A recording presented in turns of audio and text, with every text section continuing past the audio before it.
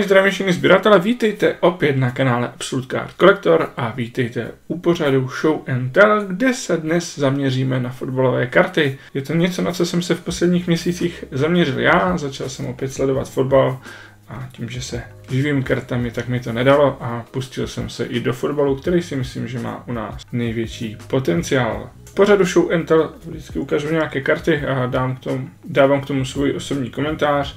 Dnes tu máme další část velké zásilky z Ameriky, kde právě asi 30% tvořil fotbal, zbytek samozřejmě hokej, už jste mohli vidět včera první část, čekají nás další minimálně dvě části a dnes tu tedy máme fotbal. Budou to karty převážně na prodej, ale zařadil jsem tam i něco do sbírky. Jdeme se na to podívat. A jako první tu mám ještě karty z poslední zásilky z Ameriky, které už mám další dobu odložené, ale neměl jsem prostor je zveřejnit. Ani nebyl vlastně úplně důvod, karty zatím schovávám a teď se chystám pomalu začít prodávat, aby jsme mohli začít fungovat i na fotbalové scéně. Takže mám tu pár kusovek začátku, tady třeba z Chronicles Elite Orangeová Alessandro Nesta. Jo, fotbal je takový sport, kde beru i legendy, protože jim moc pěkných karet nevycházelo v době, kdy hráli, takže to, to jsou karty i po jejich kariéře. Tady Samuel Etu, jeden z mých oblíbených útočníků svého času na World Cup Prism 2014. Jednu dobu byly hodně ceněné samozřejmě. Už to vyrovnalo a další z velmi zajímavých legend je Alessandro Del Piero, oblíbený útočník z Juventusu na Top Scorum Sapphire. Krásný efekt. Tak a první z několika karet Manchester City a to je Kevin De Bruyne na stejné kartě Top Scorum Sapphire. A zakončíme to hráčem, který v době, kdy jsem tuhle kartu kupoval, samozřejmě byl i kdyby na vrcholu cenově a pak šel hodně dolů a teď se snad začíná to zase rozehrávat, takže tu mám jeho ruky kartu ze Select a je to vlastně uh, Red, uh, Blue and White parálka. No, Prism jsou to Select 2020, značená jako ruky. A druhá část té pošty, která už mi přišla, se týká a, pouze jednoho hráče. Samozřejmě, když jste sledovali nějaká mo- moje videa, tak a, jsem sběratel Cristiana Ronalda, ale to určitě neznamená, že bych neocenil Lionela Messiho. A právě tahle karta je vlastně Top Chrome refraktor, kde sbírám vlastně refraktorky zajímavých men. A tuto mám do sbírky, protože jsem chtěl nějakou refraktor ještě v dresu Barcelony. Myslím, že to poslední ročník, to jsou 2021. A pak to nějakého Messiho na prodej. A to je insert Wizards of the Pitch z, ze série Merlin. A Ageless Alchemy taky z Merlinu. A pak tahle krasavice to jsou Tops Museum Collection, je to teda jenom řadová karta, jsou, to teďka vidíte, jak to mám v těchto ploudrech, a jsou to, jsou to silnější karty, ale moc krásné, moc se mi líbí. Přemýšlel jsem, že bych si ji nechal, ale to bych si nechal většinu těchto karet, takže tohle bude k dispozici, je to vlastně další série, taková high-endová, krásná řadová karta Lionel Messiho. A poslední, tu mám parálku z Chronicles a je to vlastně uh, Illusions, uh, Purple Astro, můžete vidět ty vlastně ty hvězdičky na pozadí, myslím, že ta fialovo růžová, dobře to vypadá v kombinaci s dresem Barcelony, takže tady krásný Messi dispozici. Tak, přejdeme na to, co mám co mám dál, co přišlo teďka, teď si začneme několika kusovkami. Hmm, tady Marcus Rashford na Top Chrome UEFA Pink Diamond do 175, moc pěkná karta. Rashford se trošku hledá, stejně jako Manchester. Tady pár kusovek Roberto Firmino za za Liverpool, tady zajímavá karta, Tady uvidíme, jestli prostě je to Gavi Prism Silver Rookie z Kataru, vlastně Prism FIFA Qatar, takže Rookie Silver to možná nechám do sbírky.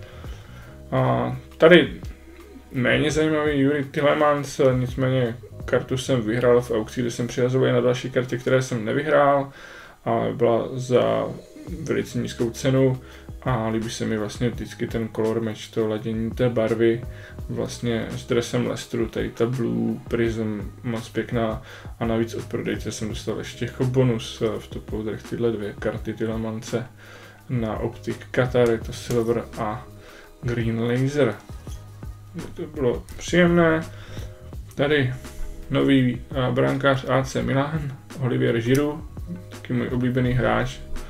Pěkná ledná karta za Chelsea, protože to ladí, to zase ta blue, white and red prism.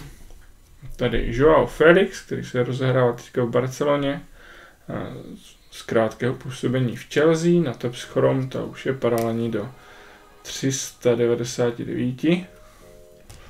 A tady první memorabilie a je to vlastně Zenit Color Guard, zajímavý kousek dresu a do 299.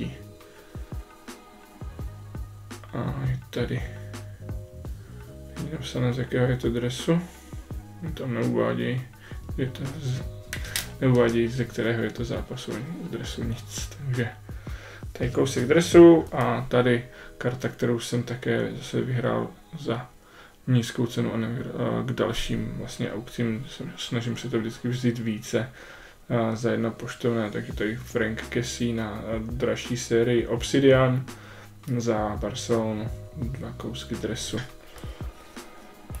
Tak, co tu máme dále? Tady máme hromádku Manchester City a tady Phil Foden top chrome, jestli to je Green Lava, do tahle ještě limitovaná není. Tady je White Sparkle, Tops a za na Prism Red. Ty jsou nelimitované a pak je tu Erling Haaland a za Norsko na selektech posledních Purple Mojo. Erling Haaland insert ze selektu za Manchester City Unstoppable. Bez limitu. Tady je zajímavá karta Rico Lewis, teďka vlastně nastoupil proti Arsenalu, krásné kousky dresu Manchester City, je to rookie jersey do 75, Rico Lewis. Hezká karta. Tady máme, teďka bude následovat několikrát Jack Grealish, to je vlastně Stopsu Green a ta je limitovaná do 199. A dvě karty Jacka Grealishe na Score, což je dostupnější série, ale tady ty laser varianty jsou nádherné a tady je 12.35 Orange Laser a tady dokonce 12 z 15 Purple Laser Jack Grealish. Ten efekt na je úžasný. Tak, tady krásná karta. Vždycky nevím ten název, Mesmery nebo něco, po každé to mění, takže to je krásný select a ta by měla být taky limitovaná 37 ze 49 a mezanín, prism, ale nevím ještě, jestli je to přímo ten efekt, nebo to má přesný název. Nicméně nádherná karta, teď tu máme dvě jersey karty, Jacka, tady vlastně Select Silver, ta je bez limitu a tady ta se mi líbí hodně. Krásně designově vyvážená karta, ještě i ten kousek toho dresu City vypadá parádně a ta je taky bez limitu, ale nádherná karta. To jsme měli Manchester City, hlavně Jacka Grealishe a Foudena. Tak. Mrkneme na nějaké kusovky z Realu Madrid a podobně. Tedy Luis Figu, tak jsem se nechal trochu unést svůj oblíbenosti. Figa je to vlastně Speed Variation v Blue Sapphire variantě, Stop Chrome. Je teda bez limitu, ale i tak nádherná karta. A Karim Benzema, Top Chrome National Sports Collection, to jsou vlastně karty vydané přímo jenom pro kdyby burzu karet v Americe. Je tady je refraktor varianta, nebo no, tady to mají jiné číslo, ne, ne, to vlastně v boxech Čím se to rozdává buď v nějakých balíčcích přímo na té akci, nebo nějak s tím spojené.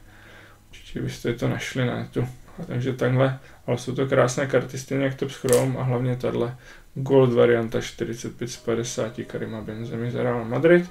A pak tu máme hráče, který je spojován s Realem, ještě tam ale samozřejmě nepůsobí.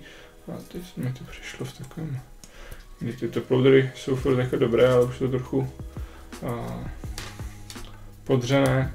Takže se podíváme na tuhle Stadium Club Chrome a Pink a je to limitovaná karta 115 ze 150, takže jakýkoliv limit Kylian Mbappého je velice ceněný navíc uh, tyhle Stadium Club jsou prostě nádherné karty jak kvalitou, tak i s záběrama hlavně, takže super.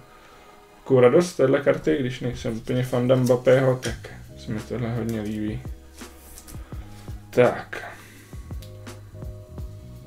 Tady mám ještě hromádku memorabilii a podpisů, to bude určitě zajímavá. Teď si dáme něco málo, co mi přišlo do sbírky, nebo karty, co si zatím nechám. A tady Zinedine Zidane na Tops, vlastně retro insertu, jsem se rozhodl, tady tenhle malý setích se sbírat, ty karty jsou docela dostupné, ale je tam dobrá kombinace legend právě a aktuálních hráčů a nováčků. Takže Zinedine Zidane, líbí se mi ten retro design. A tady talentovaný argentinský křídelník, mělo by se říct Manchester United, Alejandro Arnacho. A na score ruky Silver Laser, to je bez limitu. Ty limitované jeho karty jsou dosti drahé na to, že ještě pořádně nehrál, když teďka už začíná vystrkovat rušky. Je to vlastně mm, argentinský hráč a jeho nejoblíbenější hráč je Cristiano Ronaldo, takže pokud by se mu dařilo, zatím se mi líbí, takže bych se ne, nebál se pustit více do jeho sbírky. Takže to mi zůstává. Stejně jako tahle karta, která bude zatím do sbírky refraktorek, a to je ruky refraktor Stop Chrome, opět Arnáčo a tady je Boris teda z týmu uh, jiného anglického z Tottenhamu, kterého jsem si oblíbil a rozhodl jsem se sbírat. Zatím a je to Hyun Son, tady vlastně na krásné paralelní kartě z Merlin do 250 a karta, s kterou mám největší radost do sbírky, tak je tahle Heralded Materials z Immaculate Collection. A krásný dres, teda bílý, ale vypadá to moc dobře v té kartě. Celá ta karta vypadá parádně. A hlavně podívejte na ten limit že 7 z 99 jersey number Sona, takže velká radost téhle karty. Naživo moc parádní záležitost. Takhle mrknout. Super.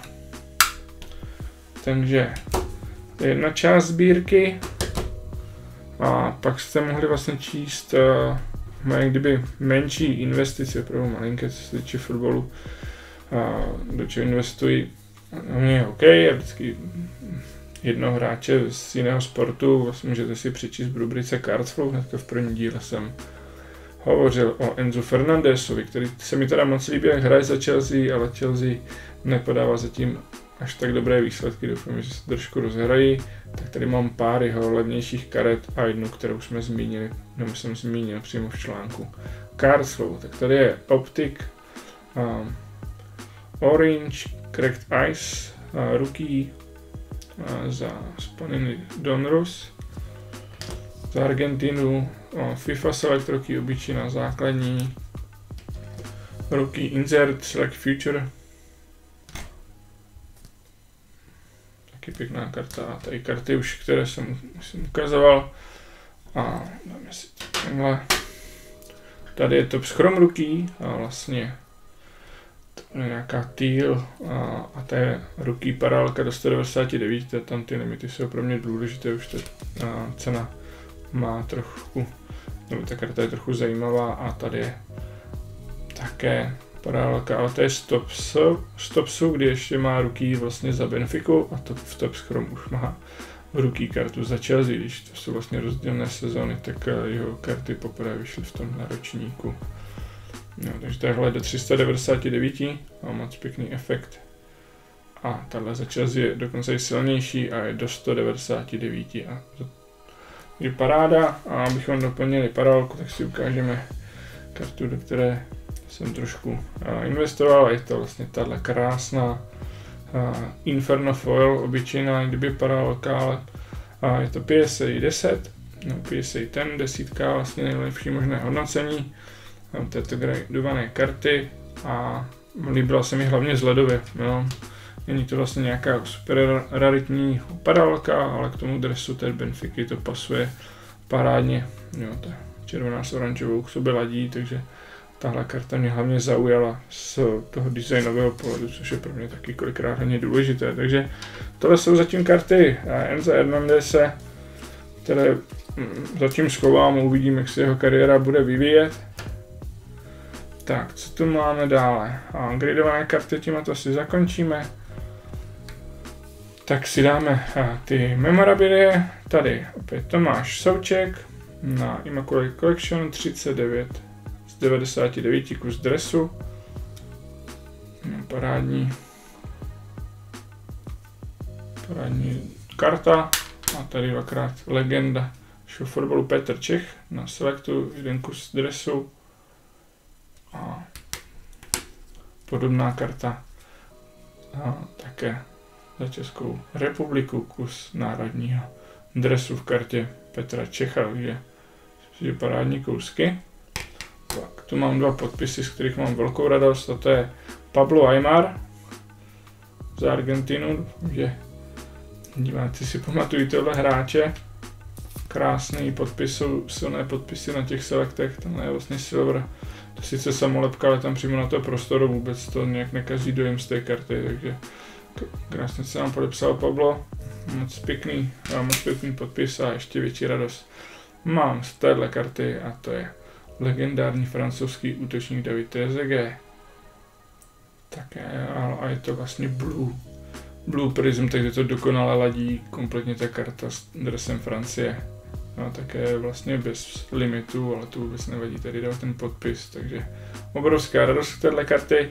Uvidíme, jak dlouho mi vydrží, než ji pošlu dál do světa, ale tak jsem se mohl tímhle pokochat. Tak, teď teda přijdeme na gradované karty, které se snažím schánit a jich vlastně zamořem požehnaně a ty karty se dají se na docela levně, protože už jich je moc.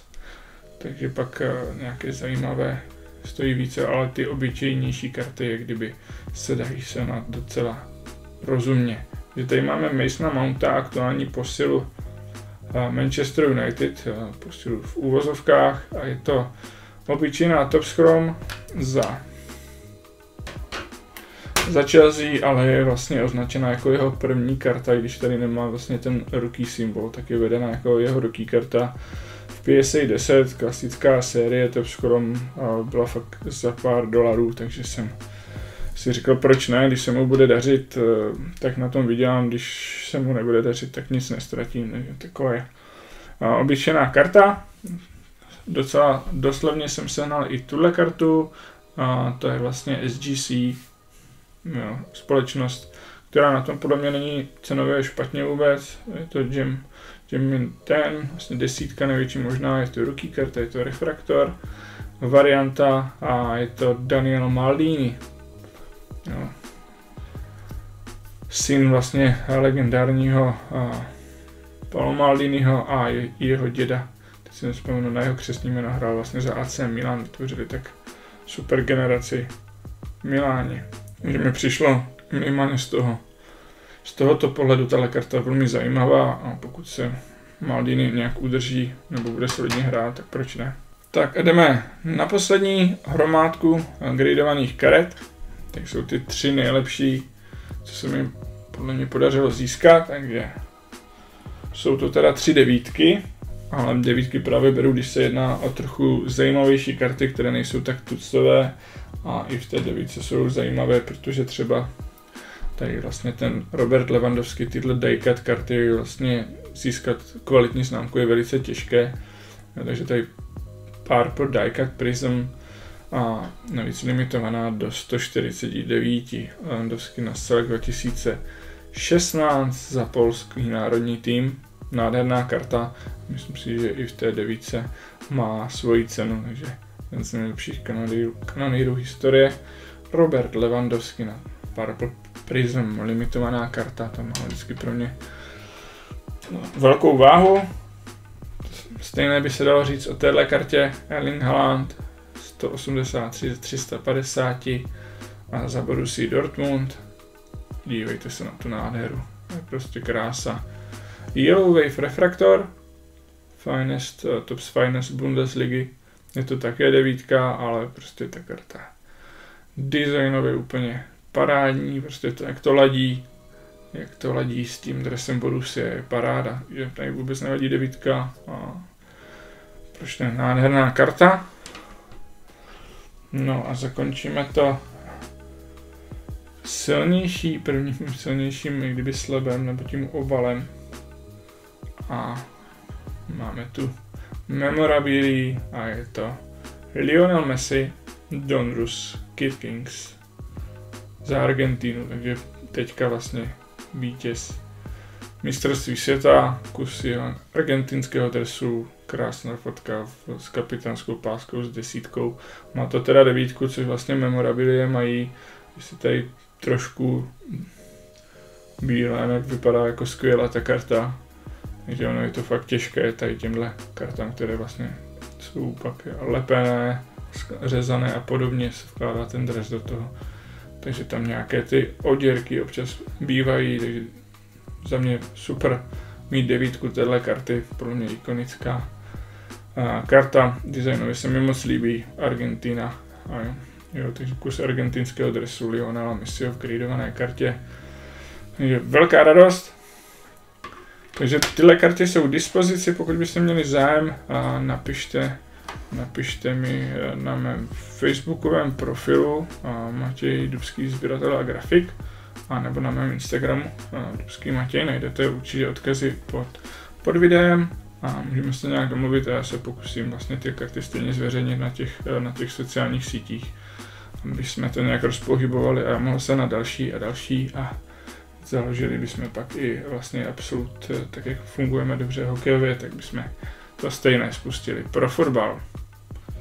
A my v každém videu samozřejmě soutěžíme, eh, no, každý měsíc soutěžíme o nějaké ceny a tentokrát jsem vybral box Upper Deck Premier v hodnotě 6300 korun a tím, že je vlastně takhle hodnotný, tak jsme soutěž dali až do konce roku, většinou dáváme box kolem 2000 měsíčně, ty jsme dali 3 měsíce dohromady a máme lákavější cenu, takže můžete vyhrát tenhle box pouze za to, že budete odběratelem našeho kanálu a odpovíte na následující otázku.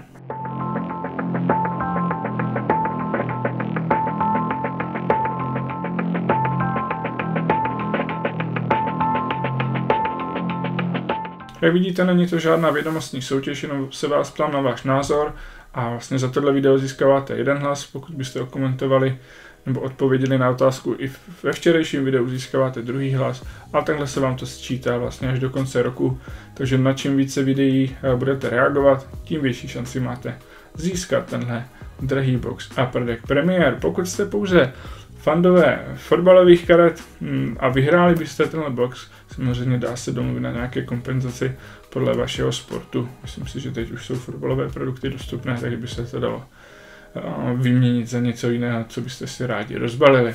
To je mě vše, já se na vás budu těšit u dalších videí. Nezapomeňte teda odběr, like a odpovědět v komentáři na otázku. Klidně napište eh, vaše názory na tohle video, budu rád za jakoukoliv zpětnou vazbu a budu se na vás těšit příště. Mějte se krásně, ahoj.